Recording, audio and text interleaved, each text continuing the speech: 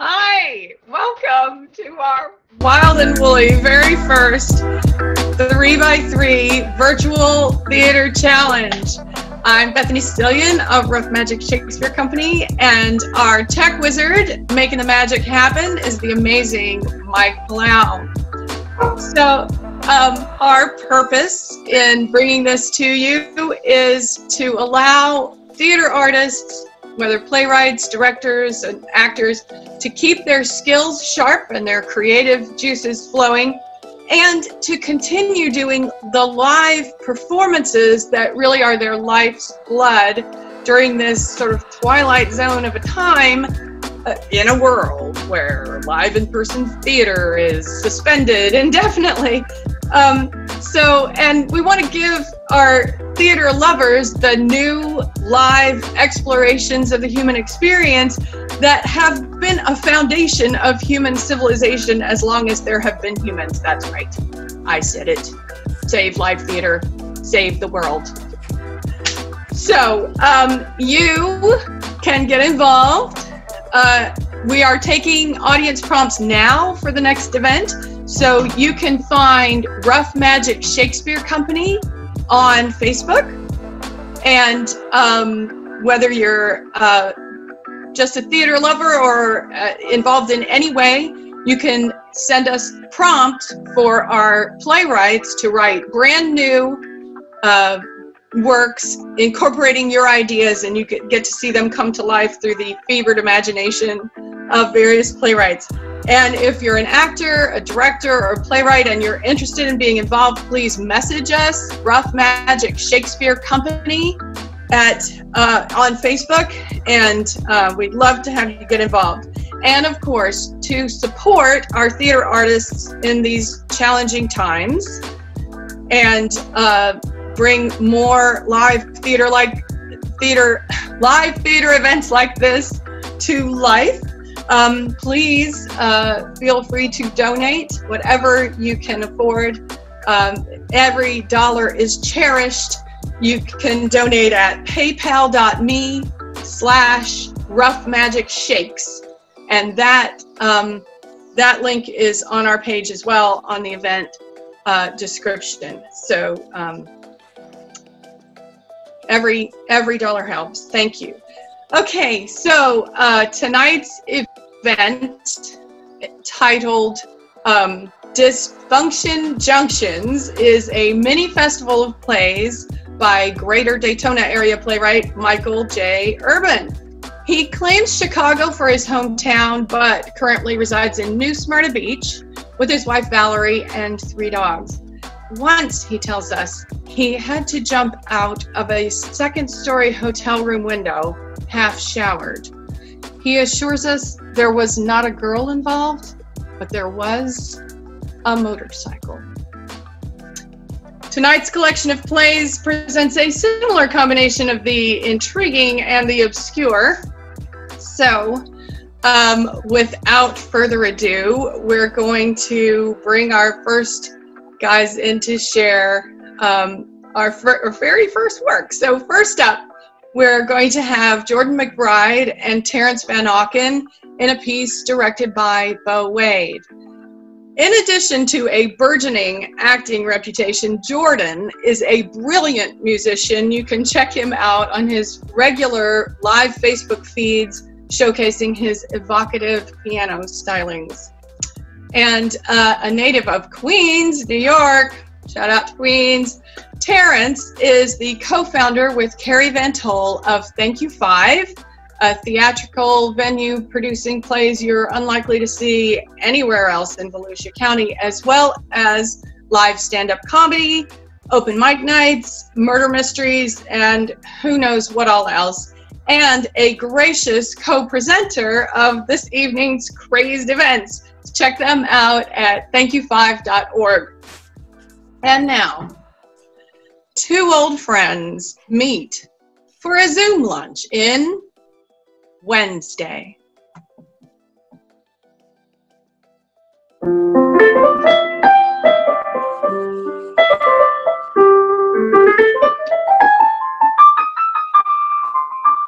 Jim? Jim! This is amazing. You look great. I heard Yeah, you no. were dead. Yeah, reports of my demise were. Uh, Holy shit. I, I couldn't believe it when you invited me to this Zoom lunch. I- I- it's like our old Diner Wednesdays, right? yeah, but without the greasy spoons. Jim, I, I can't believe it. Uh, so, how you doing? I'm doing uh, well. I'm doing uh, quite well, actually. Well, you look. Um, alive? Yeah, yeah, yeah. That that too, but uh, but but different. You know, you you you look good. Uh, I, I think maybe it's the hair. I mean, you're not sporting the Don Draper look anymore. No, I gave that up. How are you? Me, I am great. I'm crushing it. Uh, I'm the new national sales manager for uh, Halifax now. You're the uh, national sales manager for an auto group that sells cars in Florida. Yeah, I mean, we, we, we sell online. We ship out of state. I'm just trying to be funny. Uh, you know, I always got a kick out of uh, titles. So, what about you? What about me? Yeah, what are you doing these days?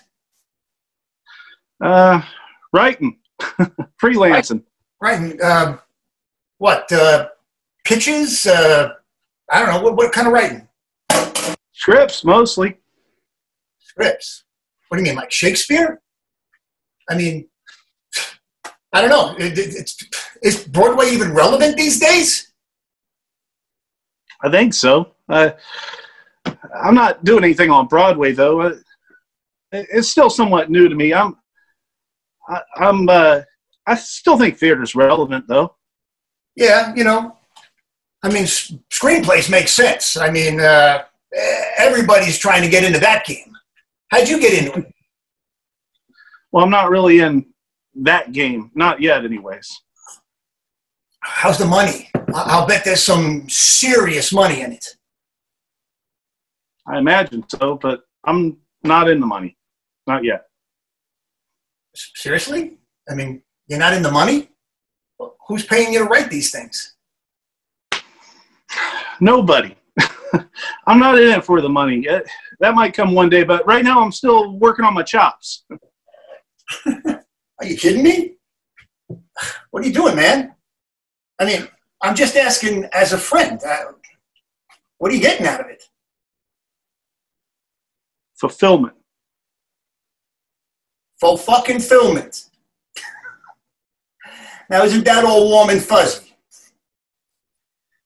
Well, you know what? I- I'm happy for you. As long as you're okay with it. But I gotta tell you, fulfillment is not going to make my Corvette payment. No, no, it won't. I wanted to ask you something. What happened? With with what? With me or with the agency? with all of it. I mean, I called up there one day and uh, they said you were no longer with the agency. They wouldn't give me any information. I, I couldn't get a straight answer. What happened? I just walked out. I had enough. I didn't want it anymore. Just like that. You just walked out. Well, I sensed that it wasn't exactly an amicable split. Just like that. As far as amicable goes, I, I had to do it. And now you're writing scripts or fulfillment. You know, you helped me. I I mean, you helped me a lot. So let me help you. Come work for me. I'll give you a a good position. I- I'll put you back in the money. I appreciate that, Tony. I really do. But um, I'm good. Okay? I mean, I had to put it out there. So, uh, Uh, are we going to eat lunch? I mean, how do these uh, Zoom lunches go? yeah, that would be good. Well, look, I'm buying. yeah, yeah. Hey, uh, I'm uh, working on a new script. Oh, yeah? What's it about? It's about uh, two guys that meet on a Zoom lunch.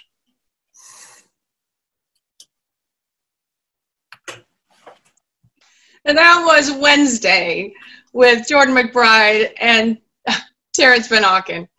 Um, next up, we have another piece directed by Betty Mitchell. Betty, I am going to say out loud, is one of my dearest lifelong friends and a consummate trooper, which in the theater world is the highest possible rank. Uh, an Atlanta based actor, director, and theater maker. She really misses live in person theater, don't we all? And is delighted to the, have this opportunity to work with Rough Magic Shakespeare and make some live, if not in person, theater. Uh, she's directing uh, a friend of hers joining us from her hometown of Atlanta, Kate Guyton, who has been spending her time during lockdown working, gardening, lecturing her mom on the severity of the virus, and enjoying the occasional meltdown over simple things such as misplacing a hair clip. Priorities. Here, Agent 003 reviews her life choices in Not So Secret Agent.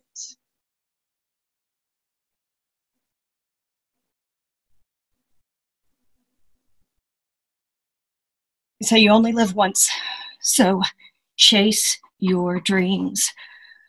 Seemed like solid advice at the time. Damn valedictorian. No one ever said someone would be chasing me. 003 to Z. Come in, Z.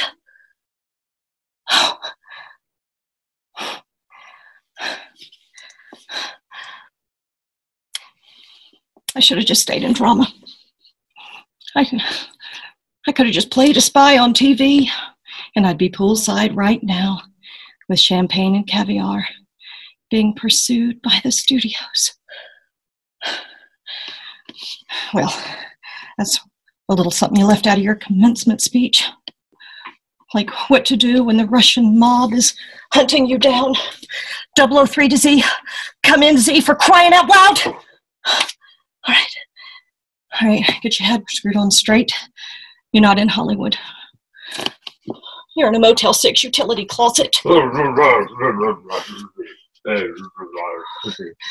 These guys are everywhere. Oh, great pep talk at the mission briefing, too. I should tell you be careful. Doesn't exactly cover it. The Russian mob will be hunting you down to cut bits off you until you tell them everything you know and or die. Now, that's a little closer. Z, you.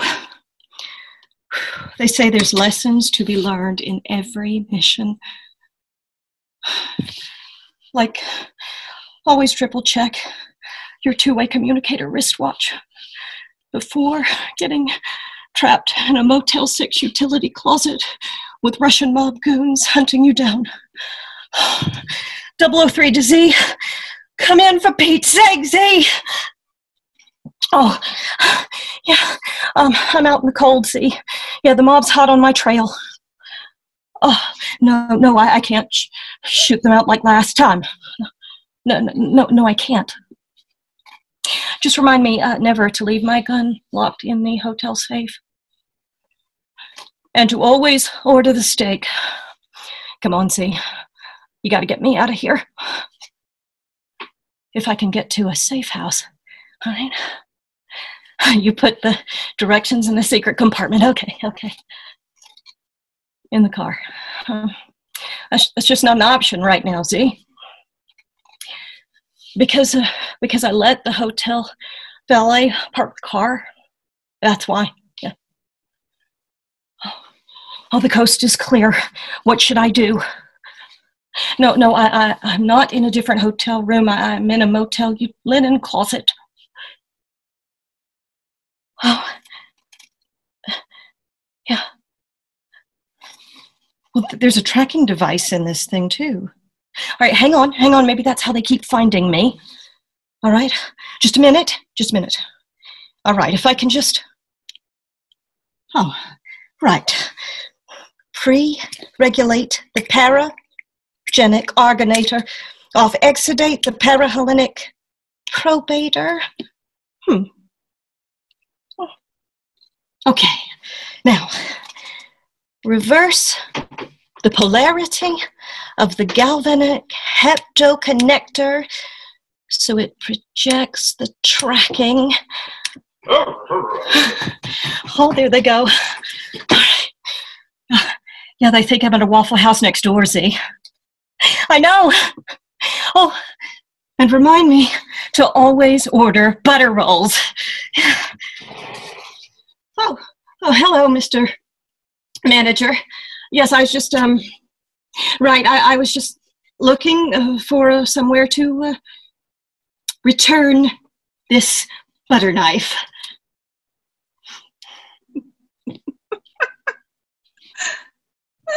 yeah.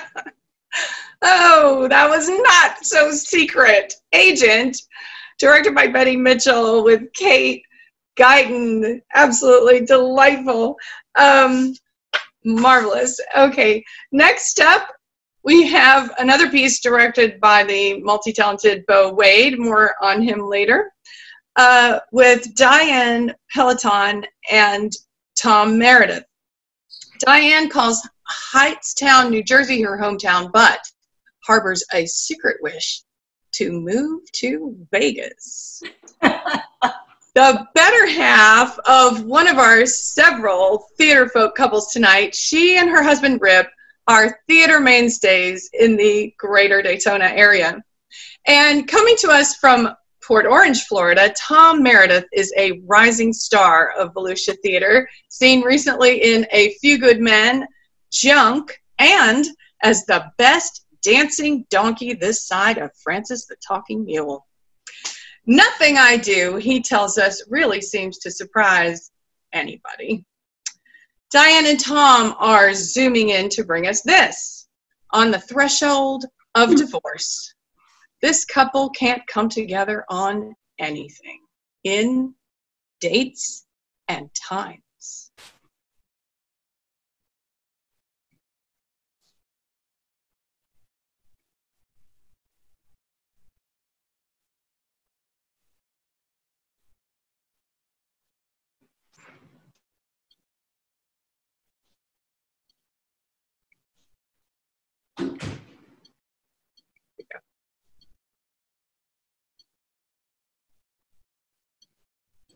You're on screen. I am? Yeah. Late, as always. Give him a date and time to be somewhere, and you can bet he's never going to make it on time. So when did that start? When did what start? I don't recall you being a morning drinker. One drink does not make me a morning drinker. Besides, today's my day off. No, but a uh, what the hell is that thing anyway? It's a Cosmotini. A Cosmotini? Mhm. Is that even a real thing? It is for me. Well, a Cosmotini at uh, 11:38 in the morning. That's what makes you a morning drinker. You want a drink, Max? Seriously. I mean, really, Liz. After years of your accusations, I start to believe that, you know, maybe I do drink a little bit too much. And now you, you, what are you even thinking? I'm thinking, why not? It's my turn, and you're not going to be much my problem for much longer. Well, thanks, Liz. It's nice to see you too. Mm-hmm. Have you spoken to Rachel lately? What the hell is going on in there, huh? She landed herself in the hospital again. Who landed in the hospital again? Rachel, our daughter, are you even listening? What is it this time? Same thing. When was the last time you talked to her? Yesterday? And not one mention about a trip to the hospital. You know, what the hell? I mean, you know what? Never mind. Oh, this? This is her mess. really, I think you ought to have a talk with her. About what? Her poor housekeeping habits? I'm serious, Max. I'm serious. Maybe you should talk to her, she says, with a com- Cosmotini in her hand at 11.38 in the morning. You know, maybe you should talk to her. Wait, here's an idea. Maybe we should both talk to her together. Oh, yeah, wait, we, we tried that. Didn't work. I'm just saying. Please, Max, I don't know what to do. I'm worried. No sense worrying. I'm not going to change a thing. Well, what will change something? I mean, do you have any insight on that in your sobriety? Listen, Liz, she's got this. And we all got this until we don't. And then it's, oh, we may have a problem here. And she's going to have to come to that realization herself. got the papers. Oh, good, great. You notice I've tabbed every place where you need to sign? You need a pen? Hilarious. Not signing them today. What? Yeah, Liz. this divorce is not amicable. You know, it's been non confrontational at best. What? I don't understand. We agreed to do this. I agreed to meet you like this. That's all. And uh, that's it, so bye. What? That's it? Wait a minute. yeah, I think it's best, Liz. Ah, I took the day off for this, Max. I thought we were going to come to an agreement. And what else did you think, huh? That we were going to make a day of it? Have lunch? Walk hand in hand through the neighborhood and talk about old times? Where's your head at? You know, you don't have to get ugly with me, Max. I'm not getting ugly with you, but I've decided to get a lawyer. Can you even afford a lawyer? How are you going to pay a lawyer? I sold the Audi. Oh. You know, maybe you should be asking yourself, well, why'd you do that, Max, huh? You want to know why? I got a call from my agent. He got a call from my publisher. And he got a call from your lawyer. You subpoenaed my royalty contracts. Ah, Max, I didn't subpoena anything. They're just looking out for me. They're looking out for my interest. Your interests. Yes, my interest. I really. Aye, aye, aye. That's all I've been hearing from you for years now. Oh, Look, Max, I've supported you for the last two years. I'm entitled to some of your earnings. Oh, yeah? Well, then I'm entitled to yours. Who supported you while you were getting your degree, huh? Who worked for the agency? Who, wor- who wrote the ad copy that paid for your law school? No, I don't think the judge is going to see it like that. I think he's going to see that you quit a perfectly good job and went to diddle in a little dingy theater someplace and left the support of both of us up to me. That's how you're hoping he'll see it. Even you know that's not what it was.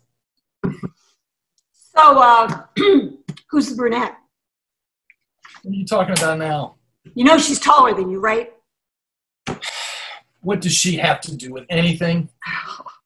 Well, you two have been spotted together quite a lot lately. In fact, it seems you're rather chummy. It's because we're friends, Liz. I mean, really, what the hell? Who is she, Max? Do you have people following me or something? Just answer my question. Who is she? She's a new hire at the theater, and there's mm-hmm. nothing going on. Okay, what's her name? How is that even important? It's important to me because I want to know. You know, maybe you should put that thing down. Her name is Krista, if you must know. Now answer my question. Do you have people following me? Unbelievable! You know, you are unbelievable. You know that? You wanted the divorce, and now you want to play me for the bad guy? You wanted this divorce.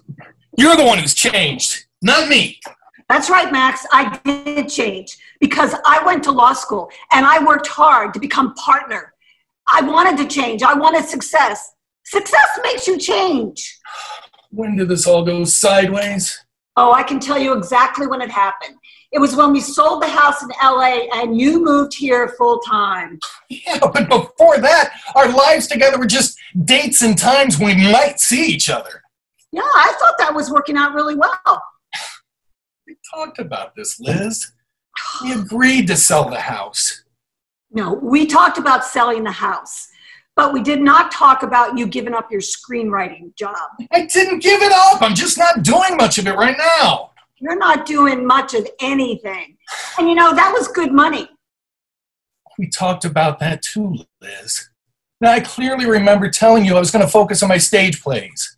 You know what? There's no point in us even going over any of this again. Oh, there is a point, Max, because I want you to know where I'm coming from, what I want, and why I'm divorcing you. Well, that's pretty clear. Really? Is it, Max? Mhm. Well, then you tell me. Where am I coming from? What do I want, and why am I divorcing you? I'm not doing this right now, Liz. Oh, how did I know that was coming? I could have said that for you. You're so damn predictable. Remember, Max, I know you. I'm not kidding, Liz. I ain't doing it. Of course you're not, because you are so wrapped up in yourself, you cannot see what's going around, going on around you, and oh, and what's right in front of you. No, that's not true.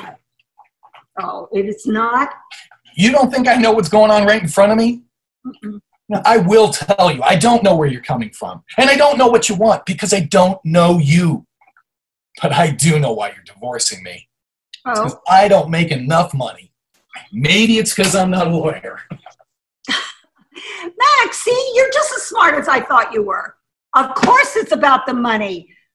and it's also about the fact that you haven't brought in any income in the last two years, let alone the last three, four months that we were together. Now, wait a minute. I'm going to right there, Liz.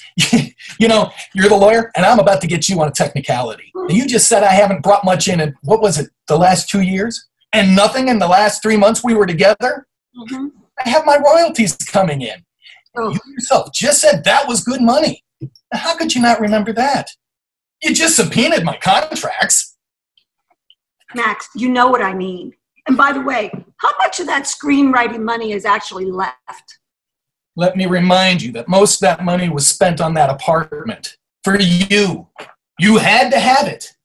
Hmm. And you bought the Audi. You want I mean the one I just sold so I can get a lawyer? Mhm. Who I hope is going to be able to protect me from that horde of barbarians you call partners. Why? Why are you trying to hurt me? No one's trying to hurt you, Max. We're getting a divorce, and this is the way a divorce goes. Yeah, Well- Mhm. I don't agree. well, you're getting a lawyer, and he's going to tell you the same thing. Maybe he will. But I want to be the one to tell you I'm not going to just lie down. Hey, you want a divorce? You want the apartment? Fine. But now you want my royalties? I'm going to fight you on that, Liz. That's my income right now. Aren't you still managing that theater? Yes, and you know that I agreed to defer my salary until they get over this financial condition. And, And uh, that is your problem, Max. I was going to tell you something. No, when are you going to What get? I was gonna say- the only thing I want to hear from you. Listen, I said I was going to get a lawyer, and I'm going to get one. Well, what have you been doing, Max? Besides that girl Claire or whatever her name is. told you there is nothing going on. But if you're going to keep dragging her into this, at least get her name right.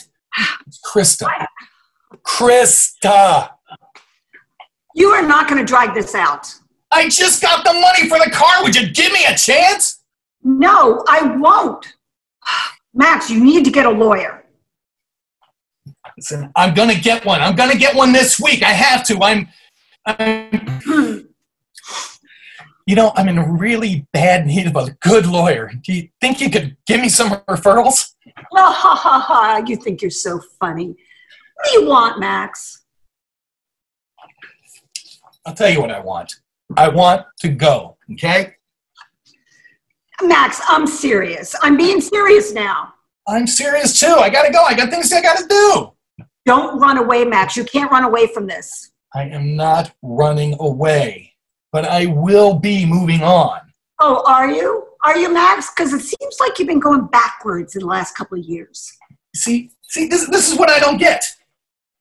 Actually, this is what you don't get. What don't I get? For you, success, moving forward, mm-hmm. it's all about the money, more money, and nothing but the money. Yeah, and Yeah, yeah, and I thought you knew me.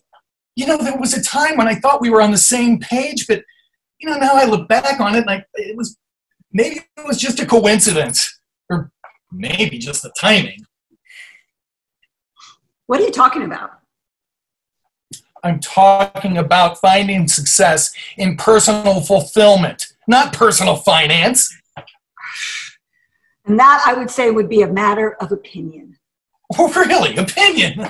So now you want to divorce me over a difference of opinion? Well, if that's the way you want to look at it, sure.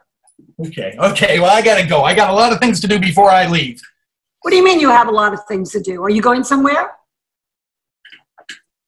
Yeah, I'm going out of town for a couple of weeks. You're going out of town for a couple of weeks? When? Next Tuesday? What? Where are you going and when were you planning to tell me this? I was planning on telling you today. Well, I just did, so. I'm going to England. England? this, uh, What the hell's in England? London. Oh, let's not play any games, Max.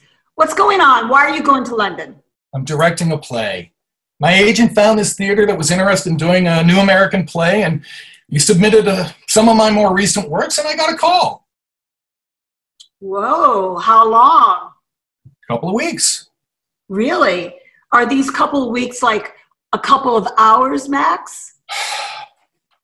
They're going to be doing a three week run, so I'm going to be gone for a total of 12 weeks. 12 weeks? 12 weeks is not a couple of weeks. That's a couple of months. Ah, You are unbelievably selfish.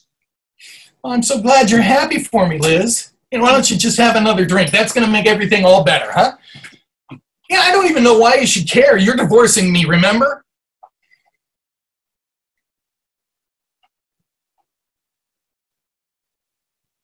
Liz, I can't hear you anymore. Are you there? I, in your drunkenness, I think you muted yourself. Oh, very funny. Have you told Rachel yet? I did yesterday. Oh, and I suppose next you'll be telling me that you're taking uh, Christy or whatever her name is with you. Close. Her name is Kristen. No, I'm not going to be taking her with. And by the way, the reason your 007 has spotted us together recently is I've been getting her up to speed on what's been going on at the theater. She's going to manage it while I'm gone. You expect me to believe that? It's true. And Rachel, what do you expect me to do with Rachel? I've got a big case coming up and I'm the lead counsel. About that. About what, Max? She wants to come with. Oh, absolutely not. She is not going to London with you. It's not your decision, Liz. She's a grown adult. Damn you, Max. I can't believe this. I can't believe she's going to go with you. You're going to have to take that up with her. I can't believe this. How can you do this, Max? You're divorcing me, Liz. We're not a team. We're not together in this anymore. What about the papers? How am I going to get those papers signed, Max? I need those papers. I'm going to London, Liz, not Mars. This is not at all what I had in mind. This is not how I wanted the day to go. I'll use your words, Liz. It's not my problem. And this is how a divorce goes. You'll get the papers when my lawyer has approved them. Max, will you please just wait a minute? Well, Liz, as we like to say in show business, I'll have my people call your people. Max, no, just wait.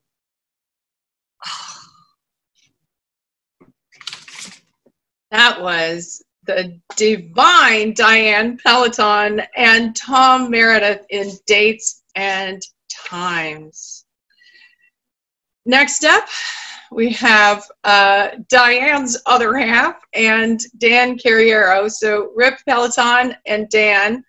Dan Carriero is a Florida native who loves stretching his horizons to any kind of show from Annie to The Man Who Shot Liberty Valance to Goodbye Charlie to Junk. And Rip Peloton is a theater mainstay in the Daytona area, acting and directing for Thank You Five and the Daytona Playhouse. Originally from Geneva, New York, Rip wants to thank Mr. Manseer for turning him on to theater. So here's Dan and Rip bringing us a plot for a bank robbery in the rural South that isn't exactly Butch and Sundance stuff in the robbery.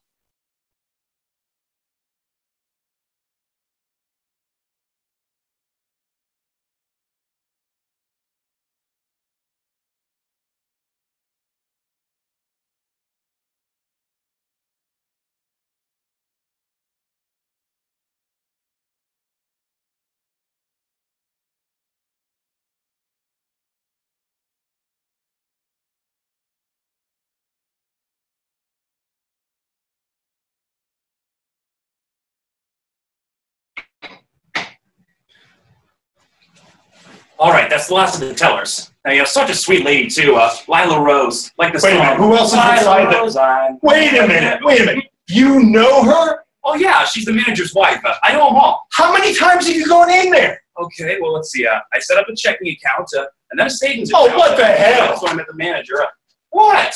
I had to go in to get a scope of the place, see the cameras and whatnot. I want make friends of all of them? Look, I just want to know who's still in there right now. Nobody's in there except for the president and the manager. You know, they're really nice folks too. Yeah, two folks you're gonna be holding a gun on while you rob their bank. What? No, I'm not. I don't even have a gun. What? Yeah, don't even own one. I thought you had one. What the hell were you thinking? Well, do you? Look, what were you gonna do? Walk in and have coffee with them? Well, no, I, I, I thought you were going to do it. I thought you were going to do the actual robbing. Me? By myself? you're nuts! No, I mean, you're the robber. You're the professional. Like, you're the one with the gun. You do have one, right? Okay, Okay. I've got a gun. Now, what is this grand idea of yours? Okay, look, I've never done this before, but, but I have a good idea. Oh, great. You probably saw Butch Cassidy in the Sundance No. Kid. Uh, This'll be fun. No, come on, why? Come on, you told me the whole thing. You had it planned out.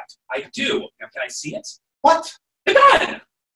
Are you high? Come on, I've never seen one in real life before. All I have is this hammer. Oh, can I hold it? Look, if I take out the gun, I'm afraid I might accidentally shoot you. Shoot me. But why? Well, for one reason, you're probably the dumbest bank robber I've ever met. Oh, cut me some slack. It's my first time. Here we oh, I don't believe this. We drive six hours into middle of nowhere, Georgia, and then you bring a hammer to a bank robber. Oh, come on. Take it easy. I told you I have a plan. Okay, DB Cooper, why don't you talk me through it? Okay, now, the president and the manager should be in their office. They're always in the office. The vault should be open. It's always wide open every time I'm in there. So I go in there with the hammer, smash the phones and the cameras. You go into the office, tie them up, and I'll go into the vault and start clearing out the money. You might have to help me with that. Uh, I'm not sure how much is in there. Good, good. Uh, how about the cops? There's only two the sheriff and the deputy. The sheriff will be going home to his wife tonight, the deputy is going to be going to the station. He goes to the gas station all the time, talking to Wendy. I think he likes her. Wendy? Oh, yeah, Wendy. She works at the Quick Stop. She's such a cutie pie. Shame about the plantar fasciitis. Okay. hmm. That's your plan. Yeah, pretty much. I don't know. I, I just don't know. Well, we're going to do this, we need to do it now. We have a six hour drive back, and I have to go to work in the morning. You're worried about work? You, you didn't take the day off? Well, no. I mean, if I took the day off, they could pin me to the location. You know, I thought you were a professional. Okay. You know what? Forget it. I'm out because I'm a pro. Well, we got to do this now if we're going to do it at all. There's no we about it. Didn't you hear me? I'm out. All right, fine. I'll go in myself. Give me the bag. Really? With just a hammer. All right, give me the bag. Here you go.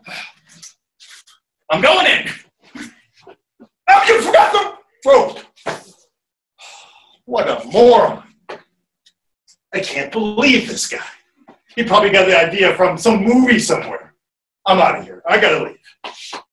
Oh, crap. He's got the car keys. All the dumb luck.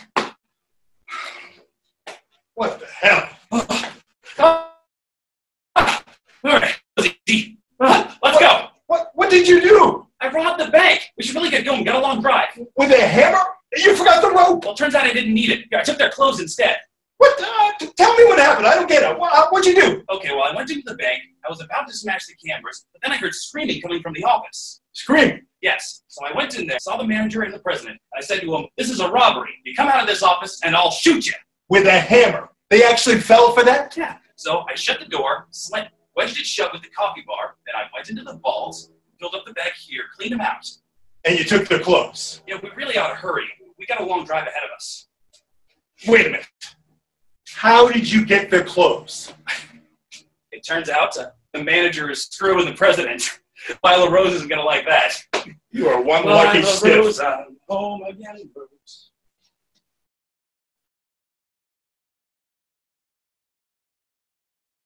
Lila Rose is definitely not gonna like that. that was the robbery with Dan Carriero and Rip Peloton.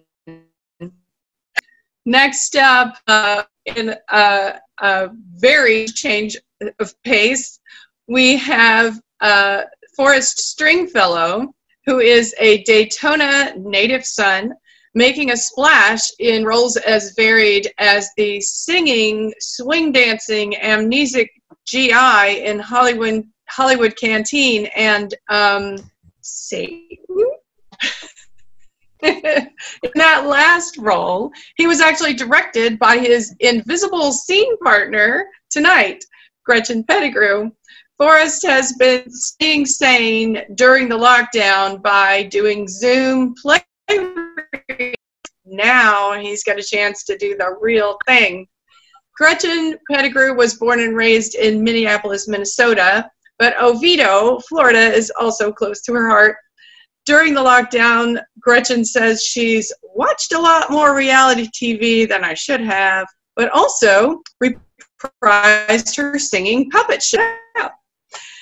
In the in this um, play directed by me, um, we have them presenting us that in the future, brains are precious in brain surgery, broccoli, and princess parties.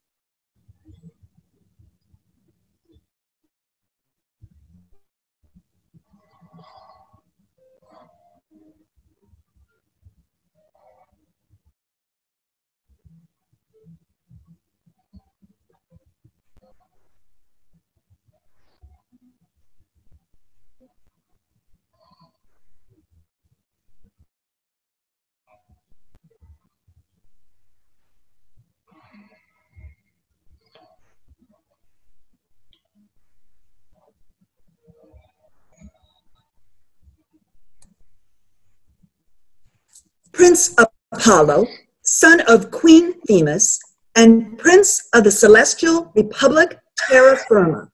Do you consent to this surgical procedure, the cortical harvest? Affirm now. Oh, sure. Sure, sure, sure, sure. Commencing cortical. You know, my mother likes to tell people I was named after an ancient mythological god. A god even before the common god. You know, the one that inspired the great book. That was before religion was banned, of course. I like to tell people I was named after the rockets that first carried the Earth man into space, you know, Apollo 1 3. that was over 200 years ago. I think it's more exciting, more fitting for a prince, wouldn't you agree? Surgical assistant is not programmed to provide opinions regarding human nomenclature. Right, right, right. We all have our place. I was born a prince like all other celestial princes and princesses. In much the same way the ignoble are born into their populations. Really, the only difference being that I was guaranteed survival. Do you believe in luck, bro? Surgical assistant Even though we're told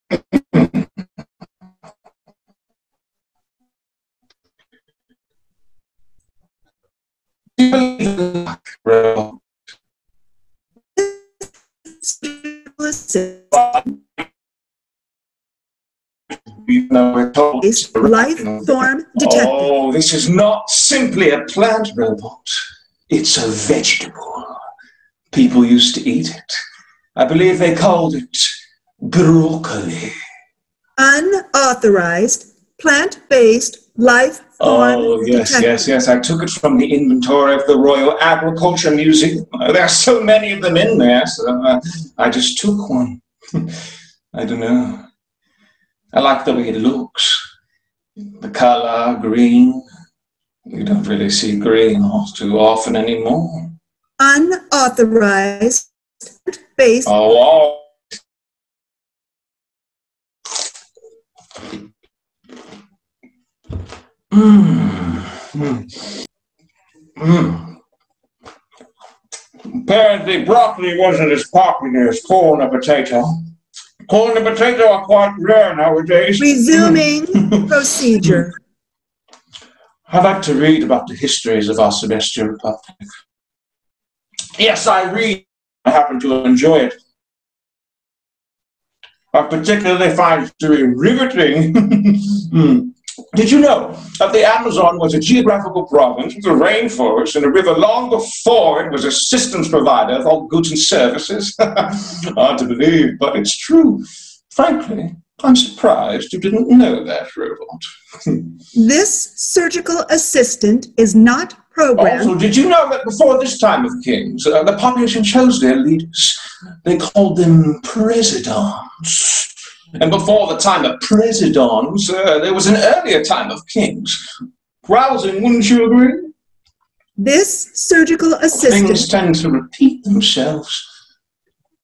Yes, there is a lot of intriguing information in this history, in the old history, and in, even in our modern history. For example, most people don't know that our republic had two civil wars, but the first one was erased from the old history by the last ever Congress. Did you know there were two, Robot?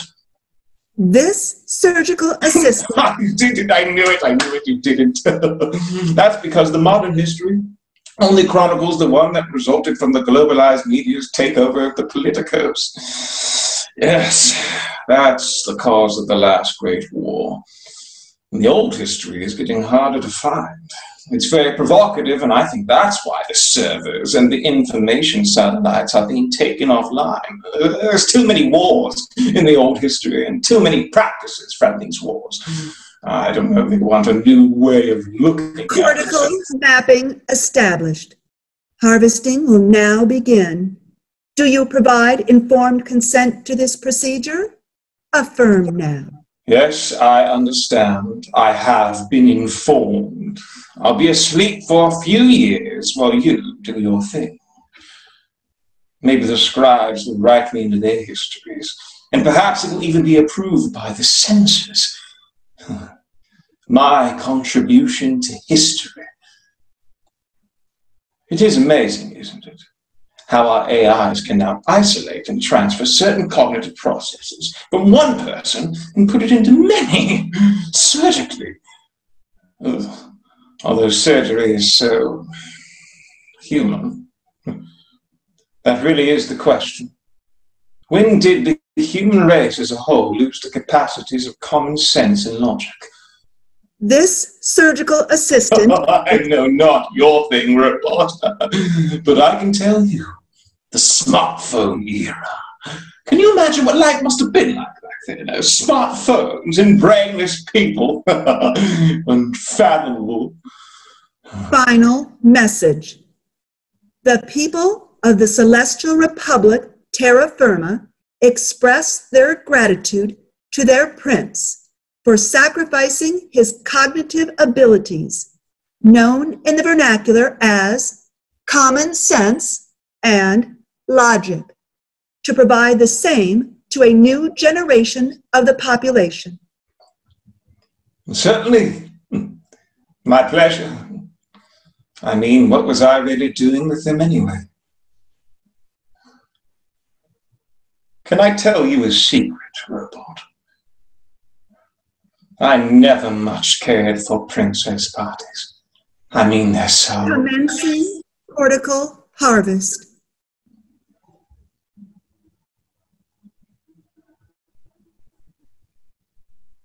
And that was Forrest Stringfellow and the invisible Gretchen Pettigrew in Brain Surgery and Princess Parties.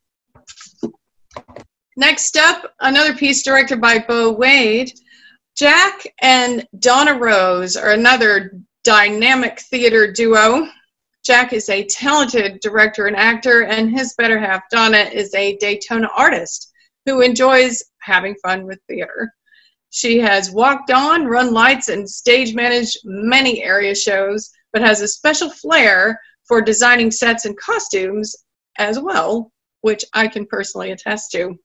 Jack and Donna would like to thank you all for coming out or in and supporting the arts. If you like what you see, they say, please tell your friends. And now, Matt and Stephanie struggle to put together a birthday gift for their granddaughter as their relationship comes apart in Trampoline.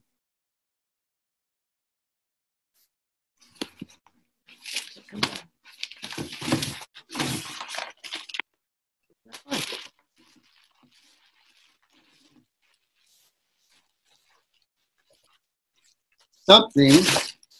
Oh yeah, something's gonna get fucked up. What? Made in China. So what? So something's gonna be fucked up. I can promise you. Oh, you can promise me. You know what I'm saying? Come on. Yeah, yeah. All right. So what do we got here? How much did you pay for this thing anyway? Mm, this one was 90. Oh, something's gonna be seriously fucked up. Matt, Hmm. why do you do that? Do what? Find negativity. Find fault in everything.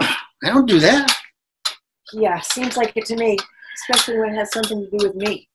Well, did you get this thing on Amazon? No, Walmart. Well, what is Amazon going to do when you find out that you cheated on them? Okay. All right. Okay. All right, so let's get this thing laid out. Um, I am thinking that these are the legs. What do you think? I just don't get it. Well, look at the instructions. I'm talking about us, Matt. I'm talking about you. Now? Mostly you. Well, I thought that we were not going to do this again. I mean, I thought that we agreed that we were going to do I this. thought you agreed you were not going to sleep with other women. Well, uh, I thought that, uh, well, look, we agreed in counseling that you were not going to ambush me with questions, right? So, I did not ambush you. I made a statement. well, I still can't even believe that we're even I still can't believe you shook your secretary. Why are you doing this to yourself? Why? I'm the one that should be asking why. Yeah, okay. Keep at it. Not going there. That's what I I don't think. think so. No, not here, not now. Yo, yeah, we are. We're already there, baby. We have been there. We got there the moment you stuck your dick. All right, that is enough. All right, we've got a job to do, so we're not going to do this right now.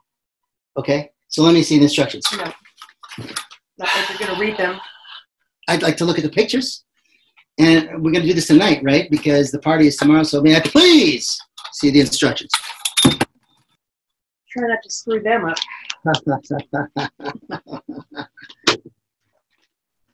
yeah. Um, excuse me, but uh, I would never screw them up.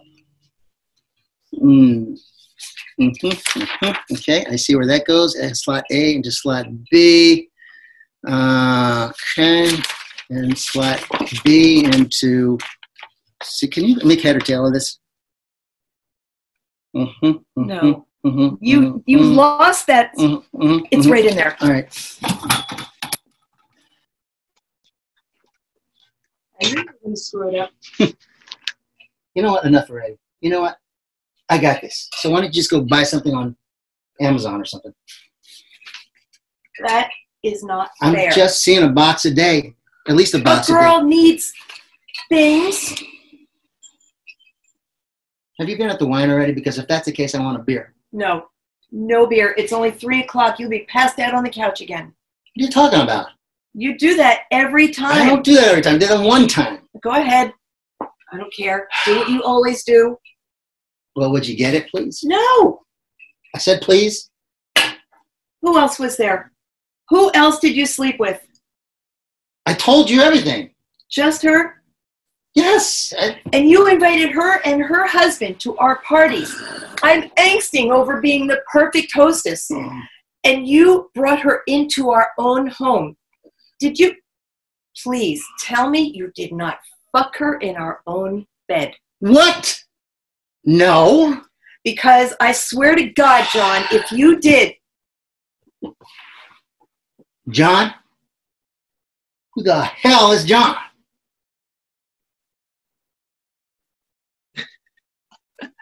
Whoops! Who the hell is John? And that was Trampoline with Jack and Donna Rose. Next up, directed by his better half, Kate Guyton, seen earlier, is Daniel Guyton. He grew up in Long Island, New York, but calls Atlanta his current hometown. He's been spending his time during the lockout down teaching from home, doing handiwork around the house, writing plays. We need to talk later. Uh, spending time with his wife, sleeping, watching too much TV, and eating way too much. Many people, he tells us, are shocked to hear that he is not Brad Pitt's twin brother. Hmm. Tonight, Daniel brings us a discouraged writer who knows the cure for the world's ills in Infodemic. Hey, Charlie. Yeah, yeah, I'm early. I need a drink. I can't write. My head's all, uh, uh yeah, yeah, the usual. Oh, hey, how you doing? Uh, how am I today? Eh, I'm, uh, refulgent. you like that one, huh? Refulgent. It's an adjective. It, uh, it means to give off or reflect much light. Yeah, I get an email with the word of the day. I'm a writer. Are you looking it up? Eh, go ahead. Well, I'll admit that um, I'm using it slightly out of a proper context. It's it's better fitted to describe a quality of an inanimate object and not so much an emotional or a psychological state. It's a it's a little game I like to play with Charlie. Oh, uh, thanks, Charlie. oh, hey, you want to hear another great word I came across? Infodemic.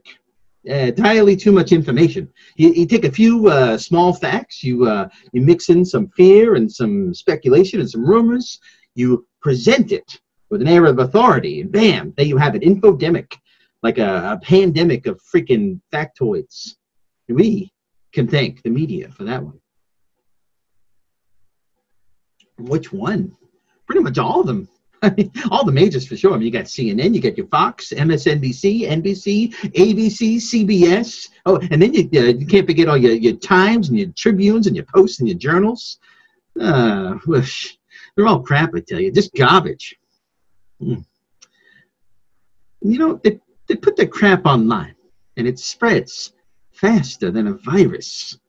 I might it might be the information superhighway, but it's bumper to bumper dumbasses driving on it. Yeah, well, I was refulgent. Hmm. Damn media makes me sick. I mean, what the hell? You know, my last two manuscripts, uh, no action. I got a few short stories in print, but uh, I bet if I went out right now and just made shit up like these. Yeah, never mind. Don't get me started. Hmm. You know what? All that talk about, uh, you know, draining the swamp, you know, just the pressure washing all the old mold and the scum out of DC. You know what I think? I think we need to flush the media crapper. Each media company is a giant toilet bowl, and everybody associated with them are just little turds bobbling in the blue water. Flush them.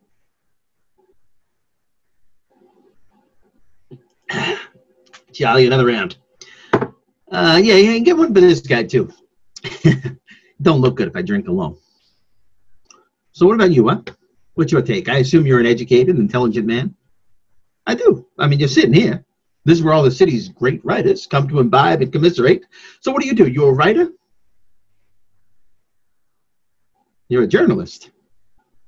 Charlie, make mine a double.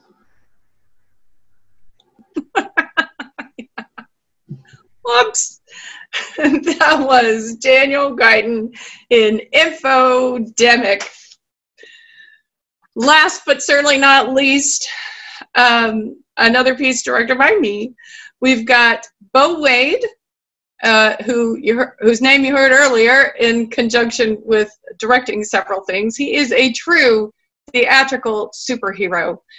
Native of Flagler Beach, I have personally known him to be simultaneously directing one complex and very challenging show while working as an actor in rehearsals for two others and actively performing in a third. And I do mean actively. I'm pretty sure if there's a theatrical dictionary, you can find his picture right next to the word indefatigable.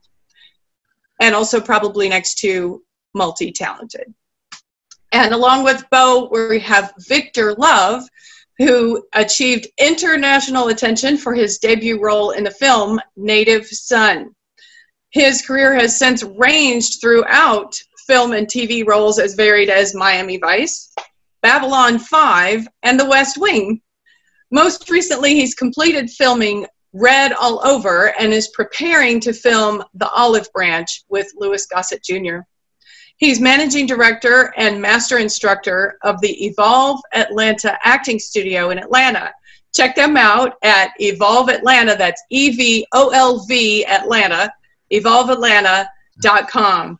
And now, two small town detectives investigate a cold case in the Frigidaire files. And the lady vanishes. I'm telling you, I can't figure it out, Sarge. Well, there's a logical explanation for it. Oh. Well, I'm not seeing it. I mean, do you got that security feed for the camera going in here? Yeah, I see you, Wheeler. Pretty crappy security. I can only see about half of the room. What are all those glitches? Ah. I'm still waiting on the hotel clerk to come back and tell me what he heard about the footage for the time that we're talking about.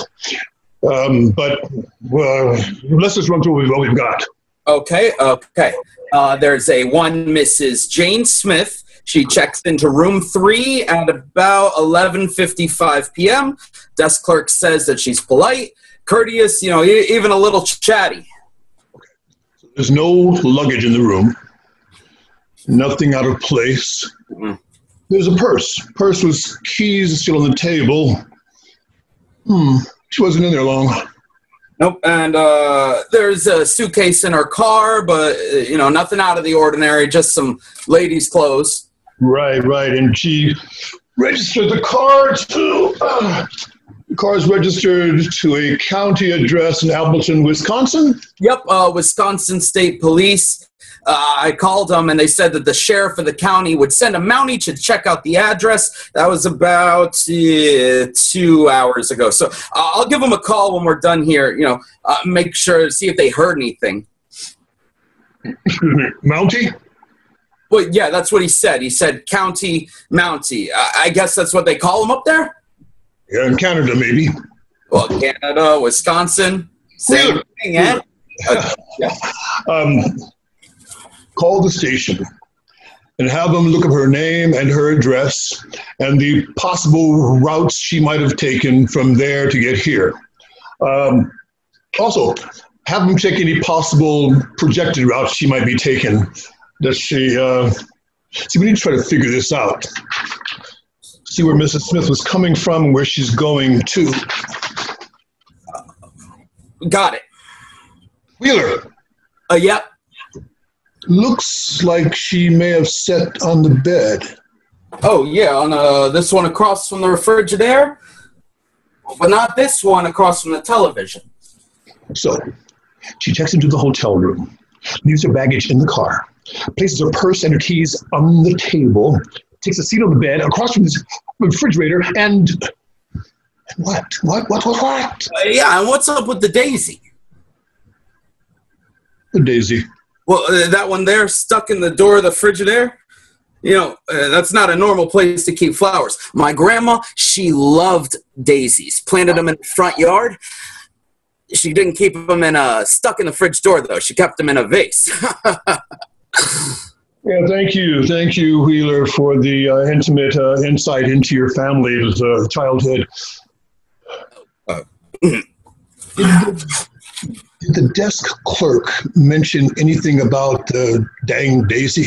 Oh, uh, yes, yeah. In his description, he said uh, she had a daisy in her hat.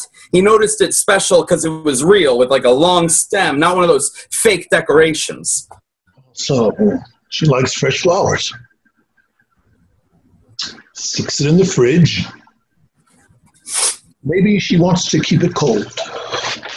Just the stem? What do I know? What do I know about keeping the flowers fresh? Okay, okay, okay. So, so then what? What happens now? Uh, okay, well, sometime around 12 p.m., the, uh, what? A.M. A.M. Oh. P.M. is noon. A.M. is midnight. Gotcha. Yeah, sorry. Uh, okay, sometime around 12 a.m., uh, the folks in room four, they saw a bright light through their window, said it lit up like daytime outside, heard a loud rumble coming from this room, said it shook the wall. No, uh, no screams or other sounds of distress, though. And um, where was uh, where was the desk clerk all this time? Uh, he was, oh, in the back office. No windows. The folks in four rang him up. They all came to check on the Mrs. Smith. When they knocked, no answer, so they called the police, and the officers arrived at 12:20 a.m. So the doors and the windows are all locked.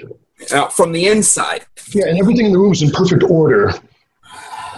Bright light, loud rumble, no scream, no Mrs. Smith. A lady vanished. No, there's a logical explanation. I'm not seeing it, Sarge. It's like she just went poof. I am telling you that there's a logical explanation here. Somewhere. We we just have to find it. Where are the folks in four? Oh, uh, probably in Cucamonga by now. They split, hightailed it out of here. They might be suspects. Oh, uh, well, yeah, I'll list them as suspects if you want, but uh, I think they were too scared to be suspects. Did you did you check the fridge? Did I check the Frigidaire? Why? Uh, You think she's hiding in there? Uh, no, no, I did not check the Frigidaire. Well, open it. Okay, yeah, sure. Okay, here we go. Uh,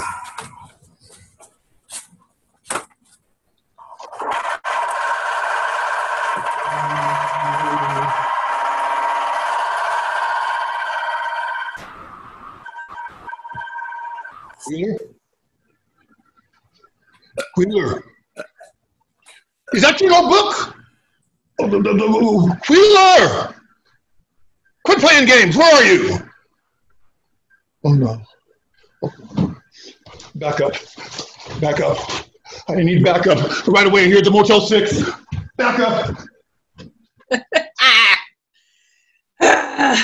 and that was the Frigidaire Files with Bo Wade and Victor Love. Hate when we have uh, predatory refrigerators.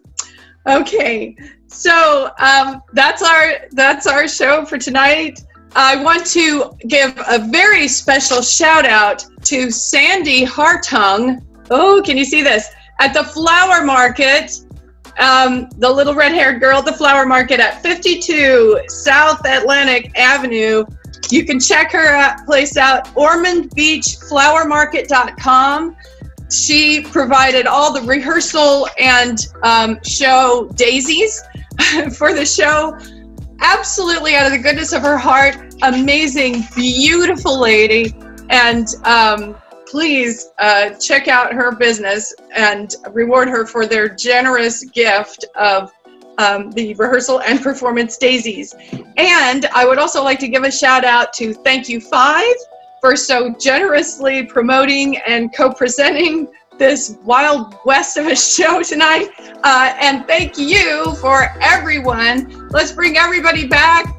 to say goodnight and thank you for hanging out with us here. This has been an amazing learning curve, and we are so grateful you to um, be here with us. Please donate if you like what you see. Every dollar is cherished. PayPal.me slash Rough Magic Shakes. You can find that link on the event page on Facebook and or get involved. We're taking audience prompts. I'm interested in hearing from more actors, directors, writers. This uh, is coming together and it's been a blast. Everybody save live theater. Save the world. Good night, everybody. Good night.